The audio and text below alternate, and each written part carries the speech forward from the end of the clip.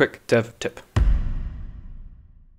Did you know you can quickly change your viewport angle? So instead of coming up to the top left here and picking from these options, if you hold control on your keyboard and then hold your middle mouse button, you'll see you get this little line. Now depending on which way you drag, you get different options when you let go. So if I go up, I get top view, I go down, I get bottom view, if I go left, I get back, if I go right, I get front, top left is right, top right is left, and then bottom right is back to perspective.